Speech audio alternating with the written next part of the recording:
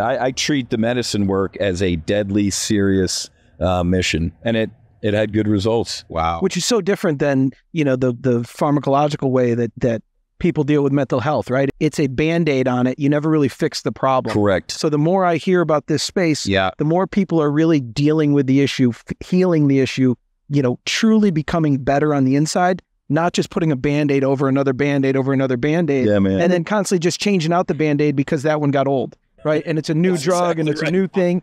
And you know, you visualize how mental health is treated in this yeah. country, and it sucks. You know, and there is no good approach, and and not that this is a one size fits all exactly. thing either. Yeah. And you know, but having this tool in your tool chest to, to right. help people, um, right? Um, it's it's you know limitless potential.